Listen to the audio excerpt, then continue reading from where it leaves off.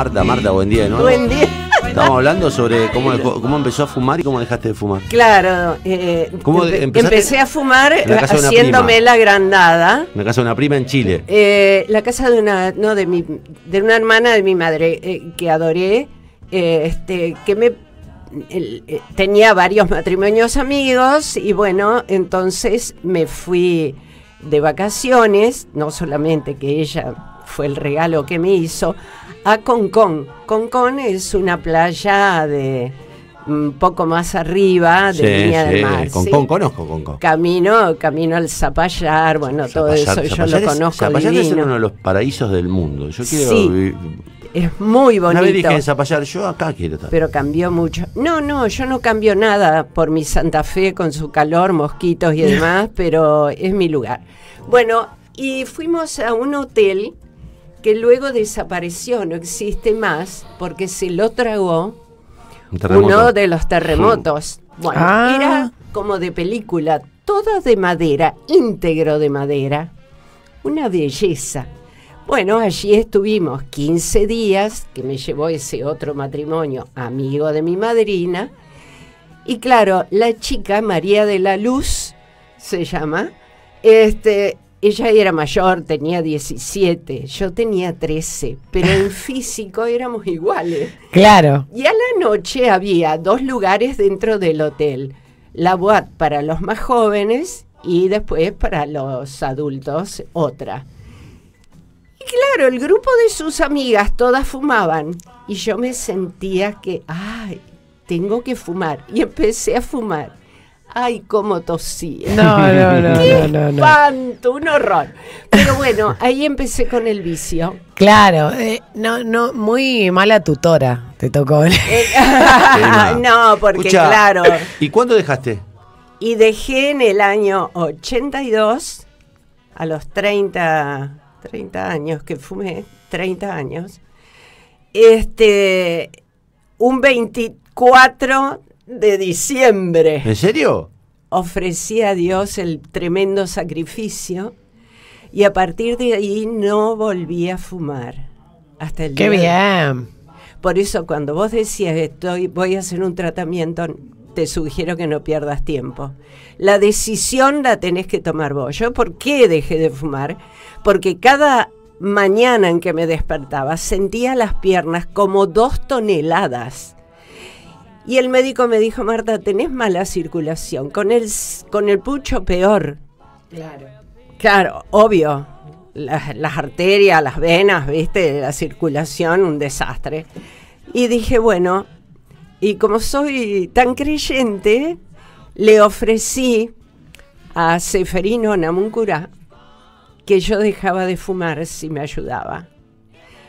Y además, en ese momento yo quería vender la casa que- en la que vivía, detrás del Parque Garay, hace tantos años.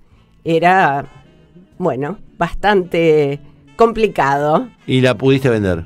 Y no la podía vender, no la podía vender. Y digo, dejo de fumar Y, te la, y la vendo. si vos me ayudás. Y en la semana la vendí. O sea, todo no, no, se no, dio. claro, era... era... Todo se dio. Sí, yo eh, es a mí es lo único que me cuesta. Yo no no reconozco que puedo dejar cualquier cosa. Yo, de hecho hace un mes que no como harinas ni ni, ni dulces, que no tomo alcohol. Y bueno, pero y ahí, no- ahí no- ya me estás dando. no tengo la no tengo el mínimo inconveniente, ¿me entendés? En, en sí tengo por ahí un mal humor porque veo que los demás comen factura. Ahora, el cigarrillo es un tema que puede conmigo, es eh, es eh, Bueno, capaz lo que tengo demasiado instalado en la cabeza. claro. Aquí, en la cabeza, es donde comienza todo. Si vos decís, yo hago tal cosa, lo- o tal cosa quiero conseguir, vas detrás de eso y lo dale, dale, dale, y lo vas a conseguir. Ahora, cuando tenés la negación ya incorporada, es un poco Sí, más. la negación o la difícil. relativización, no, no voy a poder, y un pucho cada tanto, y eso es en la trampa permanente, la autotrampa. Es feo, ¿no? Es feo. Pero, no sé, hasta el día de hoy estoy muy bien. No, no lo extrañé más. No lo extrañé más. Y fumaba un atado y pico por Ah, día. Fumaba mucho, Era mucho. ah, fumaba mucho. Y ahora entiendo por qué este, las personas que no fuman eh, se sienten molestas Eh, al lado de alguien que está eh, siempre con ese olor a Es pucho. muy loco lo del cigarrillo. Bueno, vos podías hablar de otra cosa, pero es muy loco. Yo veo eh, películas o veo filmaciones o veo, digamos, o cuentos. Es muy loco lo que pasaba con el cigarrillo antes, porque yo eh, me acuerdo haber hecho radio en el ET10. Bueno, yo Fumando. fumaba en el estudio. Bueno, teniendo el Claro. cenicero ahí, este, Claro. y fumando. Incluso las consolas, Las consolas. traían cenicero. Cenicero, claro. Los Sí, autos lo- llevaban cenicero. Los colectivos. Nos comentaban Los los, que aviones. venían, los que venían a limpiar los, los este, filtros de los aires acondicionados, nos decían que los sacaban llenos de, de- pegado de la nicotina. Y hoy eh, es muy loco porque el técnico que nos controla acá las máquinas, todo, me dice, mira, encontré, eh, no sé, eh, restos de... Tenía olor a tabaco la, o, a, o a nicotina en la computadora que se llevó. Claro, Me dice, si acá no fuman ahí adentro. no. No, pero yo fumo afuera. Y evidentemente, me dan el nivel de sensibilidad que hay con eso, que ya hasta le dicen, che, loco, tiene olor a cigarrillo. Estoy... Y esa sensibilidad la, de- la tiene quien deja de fumar mucho, sí, mucho obviamente. tiempo. obviamente. Incluso que me molesta que me fumen al lado, ¿no? Me voy, me muevo. Eh, Claro. Sí, sí. Bueno, eh, Vamos al otro tema que vamos al pensaba. otro tema. Dale, dale, Marta. ¿Eso, Beba? Sí, no, iba a decir que una vez eh, Salvador, que es un técnico de acá de Santa Fe, recontra conocido, Salvador Rodríguez, sí. Salvador eh, me sí. contaba que él eh, limpiaba los aires de, Claro, ahí está. Del, del, Del aire acondicionado, del aire los filtros. los filtros, y que era impresionante cómo la nicotina estaba pegada ahí porque se fumaba adentro. Eso pasaba en el ET9 Eso, también. claro. Sí, sí. Bien, ¿qué nos eh, traes para hoy, Marta? El tema que traigo para hoy es justamente eh, la Navidad. No es que vaya buscando etimología de palabras, sino que en este caso quiero buscar la razón por la cual existe esta celebración, que para los católicos no es solamente una celebración, es una fiesta. ¿Por qué? Porque nace nuestro Salvador. Y de ahí viene la Navidad, es de nuestro Señor. Con lo cual, eh, le comentaba a Martín cuando llegué, porque me preguntó cuál es el tema, le digo que por momentos, no por momentos, siempre hablando de este tema año tras año, en todos mis programas de radio, de televisión, he dicho lo mismo. Eh, me siento como sola en el desierto. ¿Por qué? Porque todo el mundo habla de Papá Noel y a mí no me representa. Y no representa absolutamente a ningún, a ningún credo. A ningún credo. Porque esta fiesta no es una fiesta para celebrar el año nuevo. No, el año nuevo es ir transcurriendo tantos meses, celebramos, ¡pum! Aquí hay un motivo, que es la celebración de la vida, porque nace Jesús y porque ese nacimiento nos permite a los creyentes católicos la posibilidad que nosotros creemos que otros no tienen, que es la vida eterna. Él haciéndose hombre como nosotros, ¿eh? de carne y hueso, sufriendo lo que sufrió, lo hizo solo por nosotros. ¿Por qué? Porque pudo resucitar. Y está comprobado. No es que me digan, ah, no, pero son cosas de la iglesia. No. Ojalá todos pudieran ir y ver y recorrer los lugares donde vivió María, donde nació Jesús. ¿Qué es Jerusalén? ¿Qué es Belén? Entonces, me siento eh, como tonta cuando me hablan de Papá Noel. Me, es más, me molesta enormemente. Porque generalmente no se habla de esto, solo, qué sé yo, en Radio María, supongo, no sé, porque no lo Sí, escucho. se debe hablar mucho en esto. Claro, Sí. claro.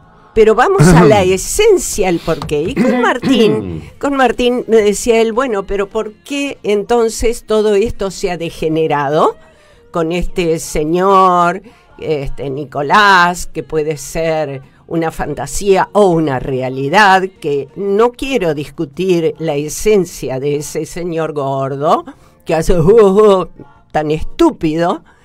Tenés Eh, una animosidad con Papá Noel. No, no, noto, tengo- tenés una animosidad no, con no, Papá Noel. no es la animosidad. La animosidad nace porque estamos des- desvirtuan- Desvirtuando, desvirtuando, sí, una fecha muy sentida para el catolicismo. una fecha que nació por eso. Ujú. Sacá, la, sacá el hecho de la Navidad, sacá el hecho católico, sacalo. ¿Qué vas a celebrar? ¿De qué Navidad me están No, no, hablando? no, no, no, nada, nada. Este- Nada, de hecho, Este es el punto. bueno, a de esto hecho, voy. bueno, eh, de hecho, Yo- guarda que yo no voy a misa, no comulgo hace mil años. Eh, eh, lo que quiero aclarar es que, bueno, seré una católica, qué sé yo, ah, sui generis, pero eh, lo que me pone mal es que estemos dándole la importancia que le corresponde al nacimiento de Jesús a un gordito que te trae regalo. Bueno, Nuestro pero eso- regalo es la vida eterna. Eso pasó, eh, debe haber empezado a, a mitad del siglo pasado, ¿no? Cuando aparece la figura de, de- de- que me imagi- creo que la instala Coca-Cola. Claro, la es lo que hablábamos con Martín. Yo le decía que esto nace por Lo instala Coca-Cola. Coca-Cola y a partir de ahí ha- hay como una especie de. Ahora.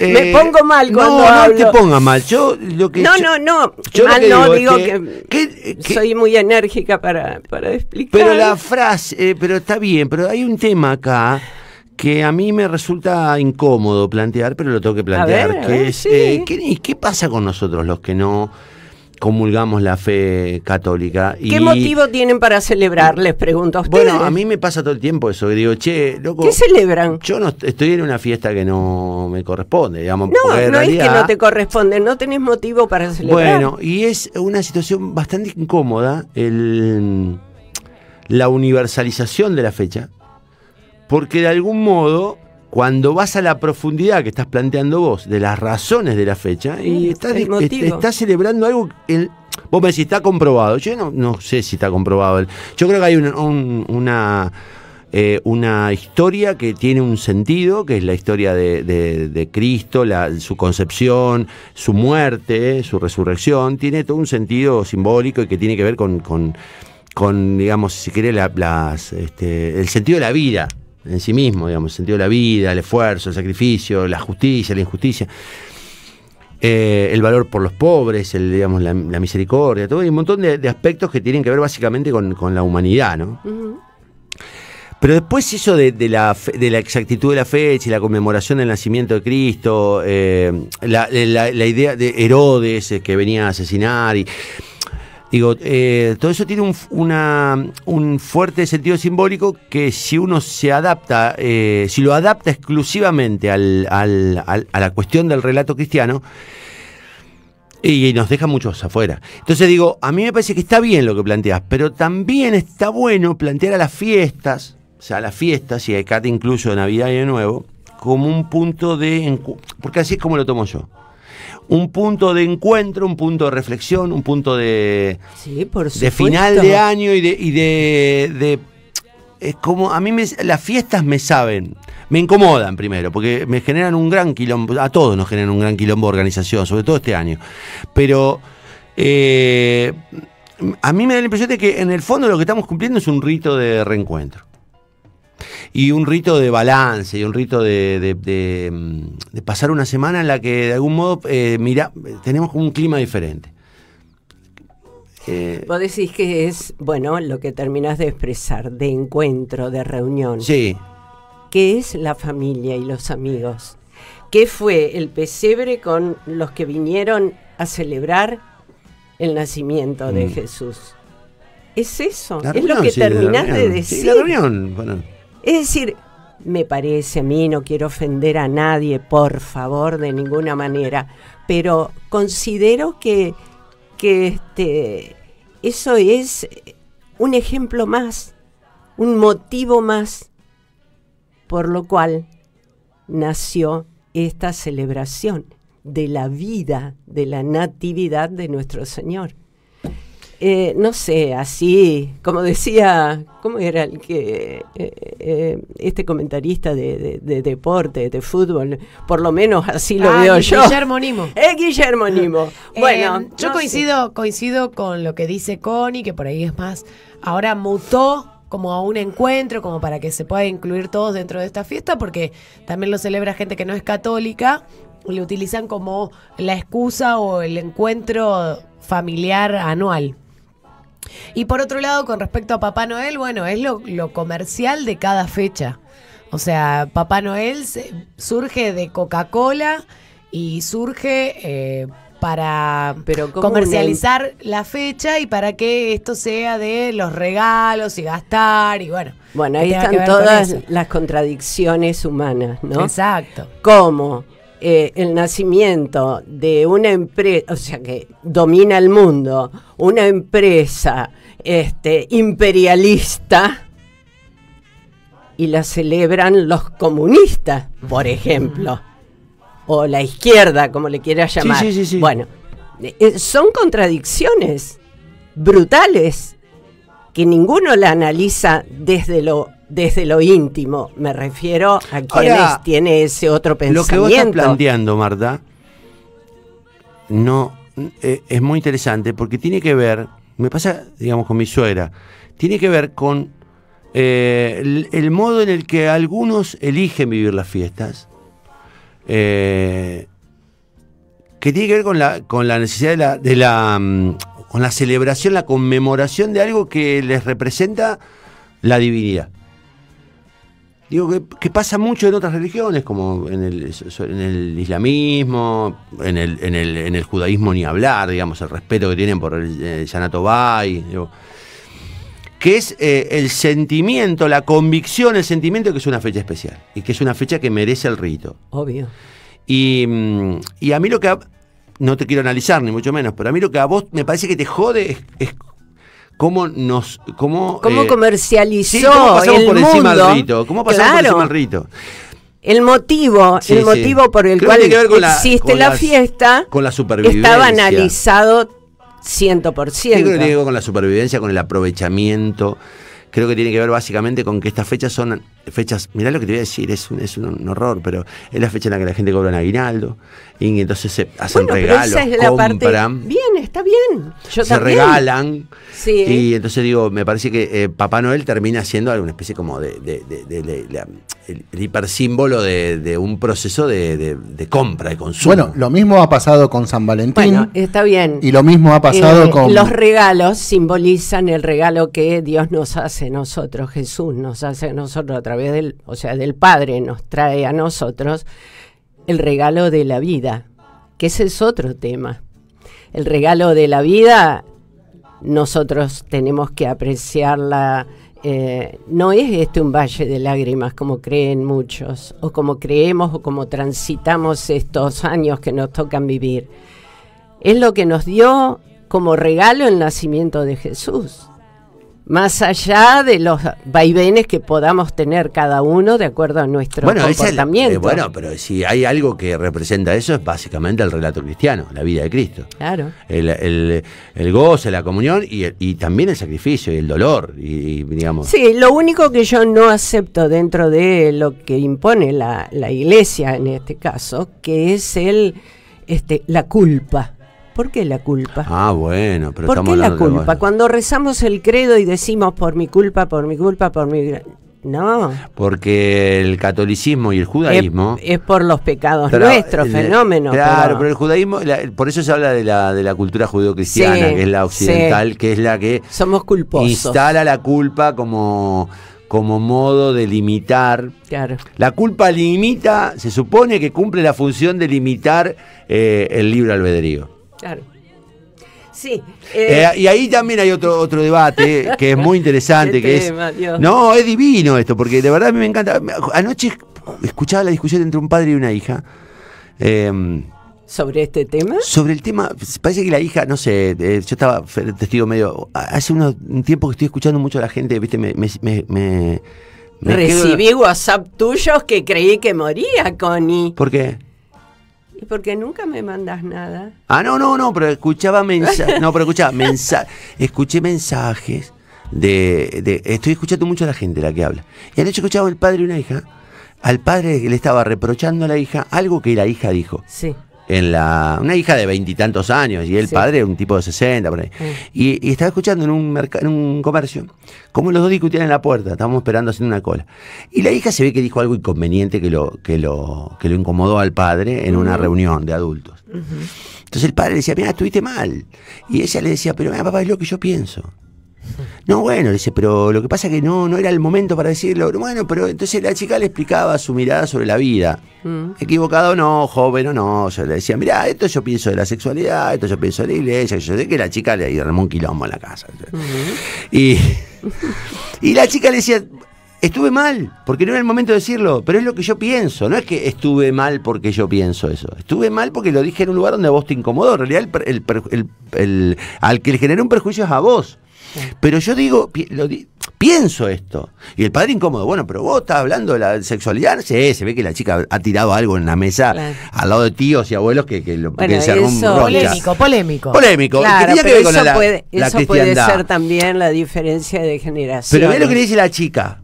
La chica le dice, pero papá, dice, al final, dice, que yo me manifieste liberal y libre, dice, es todo lo que según ustedes, Cristo nos, este, nos encomendó. Y el padre dice, no, pero ahora estás tomando para todo. Y yo lo miraba con el barbijo ahí a cuadra y digo, estuve a punto de meterme. Digo, o sea, ti- tiene razón. Digo, la- en realidad, en el fondo, las religiones eh, nos imponen un- una severidad y una culpa pero- y nos impiden interpretarla también, porque el cristianismo, de no haber sido por la rigurosidad de la iglesia, eh, sería una religión aún más masiva.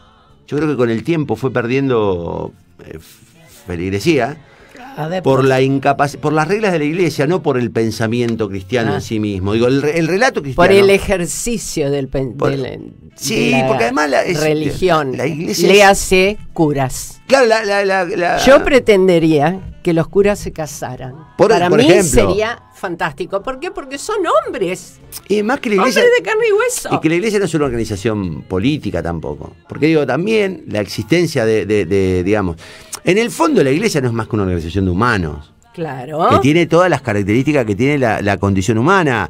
Y La traición, la ambición, la ambición personal. Que, que eso no tiene nada que ver con el relato cristiano. Nada que ver. Claro.